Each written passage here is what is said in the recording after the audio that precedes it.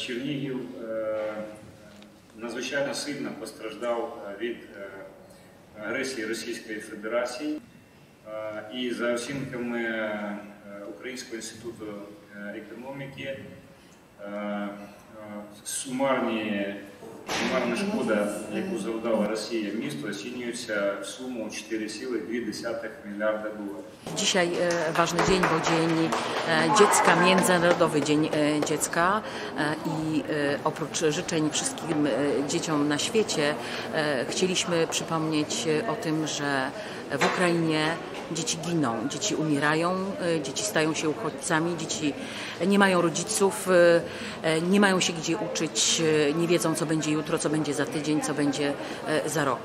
E, Chcemy się o nie e, upominać i chcemy, żeby e, były taką wrażliwością i wyrzutem sumienia również dla Unii Europejskiej, która powinna pamiętać i nie tylko ograniczać e, m, możliwości zarabiania pieniędzy przez Putina i agresywną Rosję, ale wesprzeć przede wszystkim dzieci w całej Unii Europejskiej, które się tutaj ukryły, by dać im namiastkę e, normalnego życia.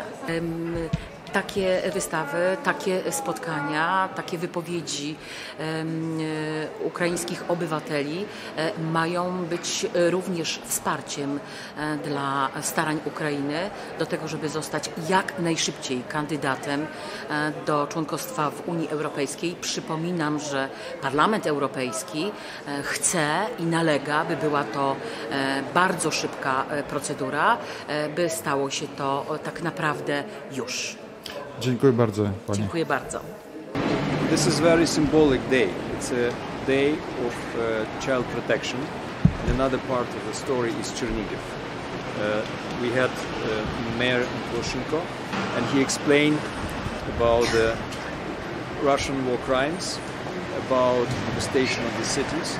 And I think it's important for the members of the parliament, for, for journalists, to get it from the first hand, to to work together to rebuild this beautiful city. I don't know whether you visited it, but it's really one, one of the most beautiful and ancient cities in Ukraine.